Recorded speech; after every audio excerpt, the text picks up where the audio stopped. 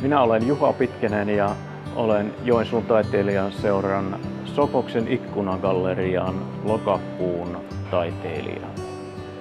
Ikkunagalleria ylläpidetään yhteistyössä Pohjois-Karjalan osuuskaupan kanssa ja yhteistyö on alkanut vuonna 2015.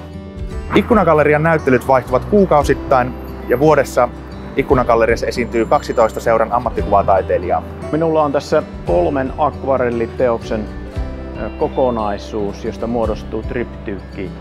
Tämä kertoo elämästä omasta näkökulmastani ja myös kristillisestä näkökulmasta. Tämän teoksen kokonaisuuden nimi on Suuremmoinen viimeinen päivä. Nämä kaikki Ikkunagallerian teokset ovat ostettavissa ja lainattavissa kerta- tai osamaksulla Joensuun taidelainaamosta, joka sijaitsee taidekeskus Ahjossa, soitteessa Kirkkokatu 23 Joensuu.